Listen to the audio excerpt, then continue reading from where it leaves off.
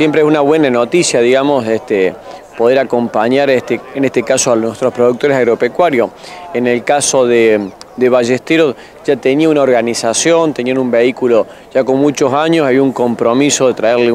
una nueva camioneta cero kilómetros para que continúen con el patrullaje. Este, también el municipio va a aportar un espacio, digamos, que están buscando para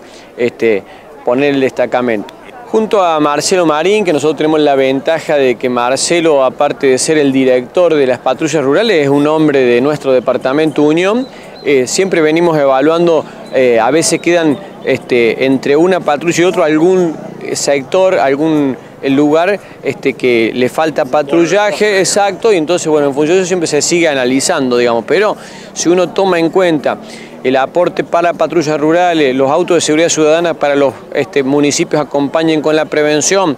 En los próximos días va a haber nuevos vehículos de la policía de la provincia de Córdoba también para entregar. Evidentemente se está haciendo una fuerte inversión para seguir trabajando en la prevención del delito. En, muchas zonas empieza a ver que donde está la patrulla rural, no solo porque hay un vehículo, sino que es disuasivo también y evidentemente se cuida mucho más. El que está pensando en, el delito cero no existe, porque existió, pero sí, pero sí, evidentemente la prevención del delito es eso, digamos, es el patrullaje, es el, el que se sepa que, que, hay alguien patrullando que también es disuasivo. Así que en ese sentido uno ve cuando habla con los productores que también valoran, porque también que hoy lo decían las palabras tanto Agustín, Agustín quien es el, este, la mesa de enlace que nos acompaña, en lo que es el modelo público-privado, que parte de los recursos que aportan a través del inmobiliario rural regresa en este caso o a través de caminos o a través de eh, camionetas para lo que tiene que ver con la seguridad.